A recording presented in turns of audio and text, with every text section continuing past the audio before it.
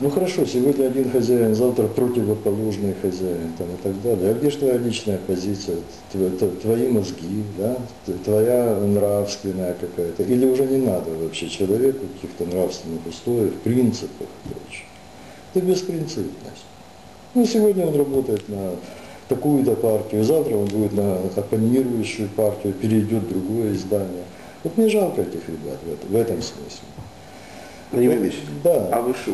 Вы можете сказать, что у вас, что вы можете себе позволить в газете писать, э, в газете как бы материал оставлять только такой, какой вы считаете нужным? У вас нет хозяина? Э, У нас тоже есть хозяин. Так я о том же. У нас тоже есть хозяин, но э, тут есть, есть нюансы. Все относительно, конечно. И э, абсолютно независимого, без хозяина издания у нас сейчас нет. Даже то издание, которое, казалось бы, э, стало независимым, да, Южная правда. Вот она была под партией когда-то, был хозяин, а потом она стала, коллектив учредил издание. Я понимаю прекрасно люд- коллег своих, я там работал, знаю. и, э, Дело в том, что, ну хорошо, можно назваться независимым. А насколько ты независим в нашем обществе, реально? То есть редактор начинает вертеть головой во все стороны. Если до этого он заглядывал в рот первому секретарю обкома партии, что бюро скажет, или политбюро, или там первый секретарь, вот так и надо действовать, то сегодня он должен вертеть головой вообще всюду.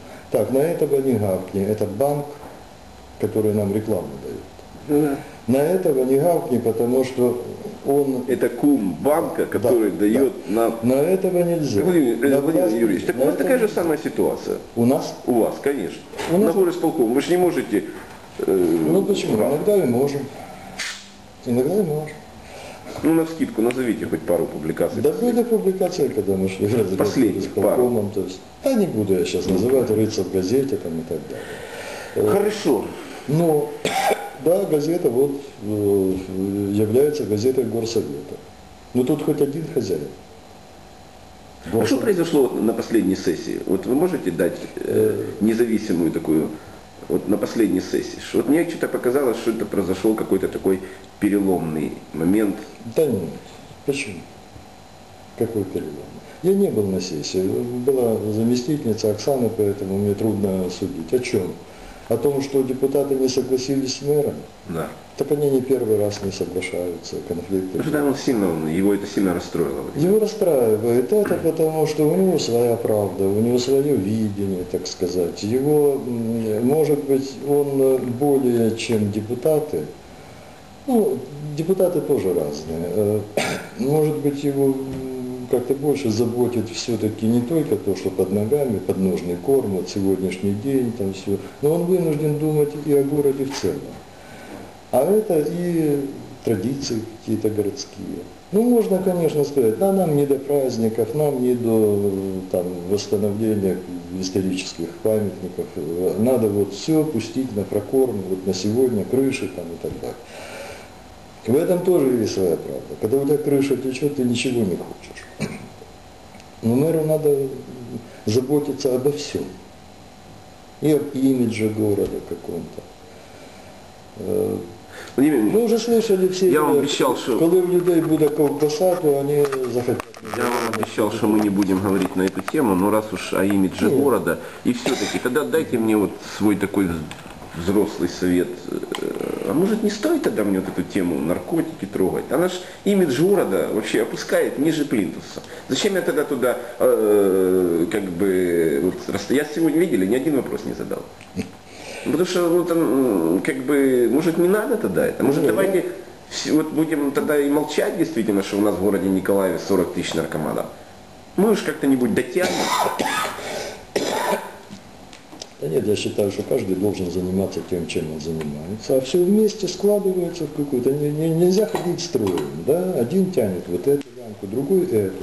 Просто ты задал вопрос, вот что там у мэра, раскол, не раскол. Да у него всегда были, вернее, Да не, ну ладно, бог с ним, с тем, с расколом мэра, Ну, Владимир, да, Владимир Ильич, бог с ним, все, раскол мэра, пусть он там сам себе принимает, там думает это вот. Да. Я все-таки, вот, может мне реально действительно с- э, общаться с интересными людьми, у них есть интересно, что рассказать, вот мне просто дайте совет. ну как, Мне уже перестали вообще звать на пресс-конференцию. Я вот случайно узнал про эту пресс- пресс-конференцию. Конечно. Ну, Меня перестали, меня перестали где-либо там публиковать. Меня перестали, вот в вечернем вам огромное спасибо, вот это музей вредных привычек. Вы что-то к нам так и не пришли. Помните, что? ну я редко выхожу. Я была, ну, за Леночка приходила, Кураса, она написала замечательный материал. написала. Музей вредных привычек. Вот если бы вы пришли, вы бы свою вредную привычку уже бы бросили. А я уже, кстати, при- нашел даже один инструмент, Как который поможет мне бросить. Да. Мне из Америки привезли такой антиникотиновый пластырь. Да вы что? Вы тогда, Но- вы тогда должны стать гражданином Америки, если, Но для того, если нам поможет. для того, чтобы бросить, вот, надо перестать курить, то есть надо решиться. Вы нормально. наклеивать. Так это можно любой пластырь наклеить и сказать. не любой, там есть такой специальный какой-то пластырь. Ну, то есть я, я осознаю, что это плохая привычка. Владимир Ильич, 40 тысяч наркоманов. Это ужасно. Это жуть. Юра, это ужасно. Которым в сутки необходимо, в сутки, им необходимо, ну плюс-минус там, ну мы на цифре остановились, чтобы вам долго голову не забивать, голову или голову, голову, голову. 200 гривен нужно в сутки. Для того, чтобы поддерживать, вот вы курите сколько? Две пачки сигарет в день? Две пачки. Вам, в сут- вам в сутки надо 30 гривен, да? Ну, 20. Хороший, да? 20. А? 20. Ну, 20 гривен Да. в сутки. А наркоману в сутки надо 200. 200. И в принципе, по большому счету, если вам сейчас сигареты не давать, то вы не будете там рвать, метать. Ну так, Конечно. конечно, будет немножко вас кол- колоп- колопатить, но вы не будете сейчас тут компьютеры переворачивать, вы не Конечно, будете сейчас конечно. состояние, ну ломка, состояние ломки. Вы ни у кого не спрашивали, что такое, когда у наркомана он перестает принимать наркотики? Юра, я никогда тесно не... Ну вот я вам, я вам говорю, потому что я это видел на- у своего сына. И поэтому я, ну, я как бы имею право на эту Это тему ужасно, разговаривать. Это ужасно. Я имею право на эту тему говорить. Но я вот теперь думаю, а может не стоит тогда? От меня куча отвернулась людей, говорят, да ну нафиг с ним иметь дело, у него, блин, нафиг мне с ним это вот. У меня как бы, ну опять же, вот даже вот на примере этого Сашки, э, ну вы меня убедили, что его не наркоман грохнул. Не, я не убеждал Однозначно. тебя. Нет, вы меня убедили, потому что ну не может у наркомана Я быть просто- пистолет. Однозначно. Я Но не знаю. 8 Алло. 8 миллионов в сутки надо. В сутки. Ну давайте всколыхнемся, давайте громада что-то делать. Юра, а что это делать? Давай вот что. Я, вот, я задумывался немножко, да, почему людей тянут к наркотикам, к алкоголю и так далее. А, Я вспоминаю хорошую книжку любимых моих писателей, на которых я отчасти рос. Я любил разные книжки, но вот до сих пор так вот выкристаллизовываются любимые писатели в детстве. Это братья Стругацкие. Один из них еще жив. Считается, что они вообще фантасты. Но они не фантасты. Это люди, которые писали хорошую литературу. Они просто брали человека, ставили его в вымышленные обстоятельства. Ну так поступали и Булгаков, и Гоголь, и так далее. То есть это просто литература. Так вот у них был роман такой «Хищные вещи века» назывался. Они показали общество, э, которое пошло по пути безудержного потребления. Э, И во что это вылилось? Я бы эту книжку перепечатал сейчас и очень посоветовал бы вот, почитать, чтобы понять, что происходит с нами. Потому что наше общество сегодня пошло по этому же пути. Главные ценности сегодня – это бабки зарабатывать и потреблять. Да, у нас есть прослойка людей совершенно нищих, которых очень жалко. Это старики и старухи, которые там не могут ничего уже там заработать себе и так далее. Остальные более-менее зарабатывают. Папы, мамы зарабатывают. И пацанва это ездит на крутых машинах. Да я за границей не видел столько крутых машин, сколько в, нашем, в нашей Украине. Бедная, нищая, несчастная. В Америке нет столько машин таких. Понимаешь, вот проехавшись там по Америке, ты не увидишь этих BMW, Мерседесов и прочего.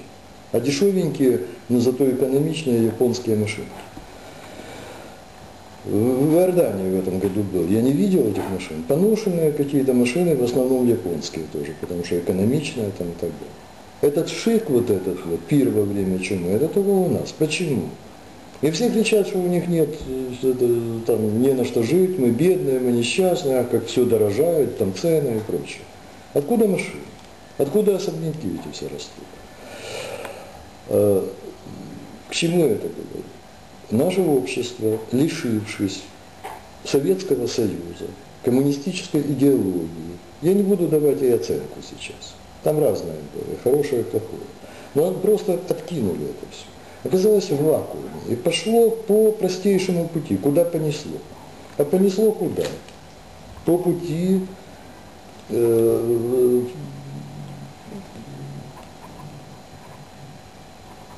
ну, в такое элементарное общество потребления.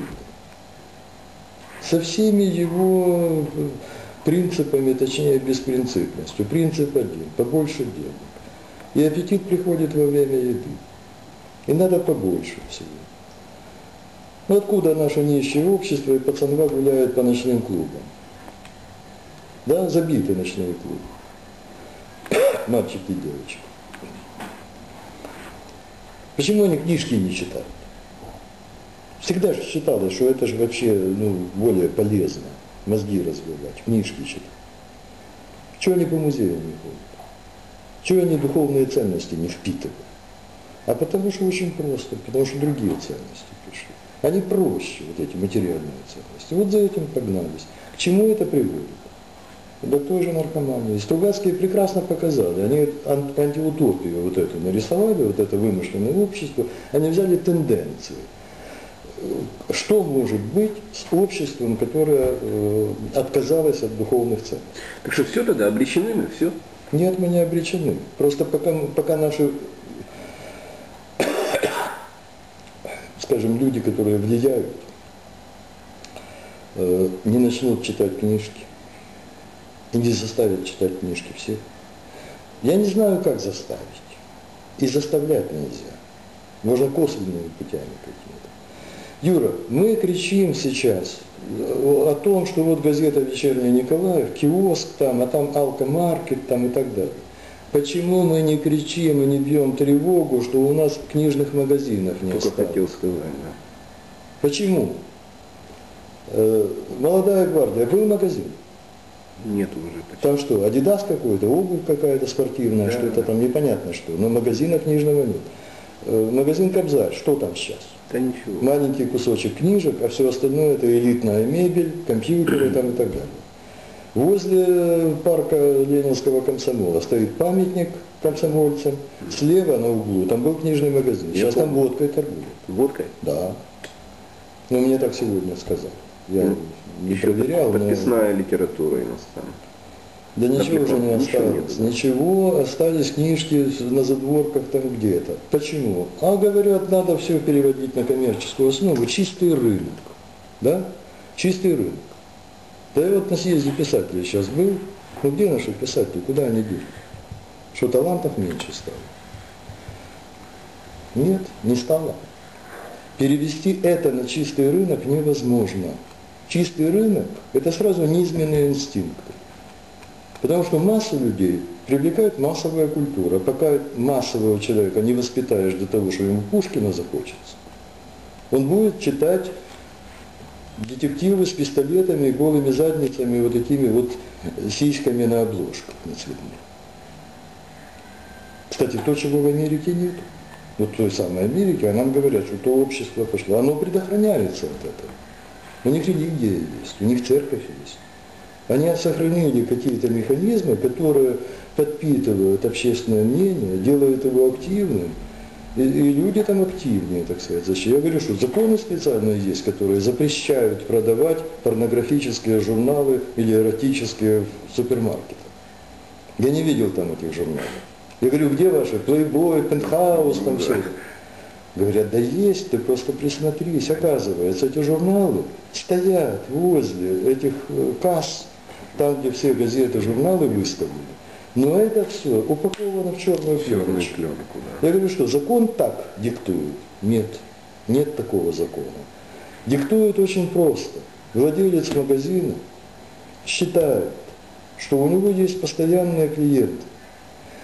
И они придут, он знает своих людей. Они придут туда и будут стоять в очереди там хоть маленькой в кассу, а в это время их детки будут глазеть на вот это вот, на эти голые э, задницы. Они будут недовольны, папы, мамы, они уйдут в другой магазин, к другому хозяину. Все. Вот так построено там. Там есть свои у общества защитные механизмы.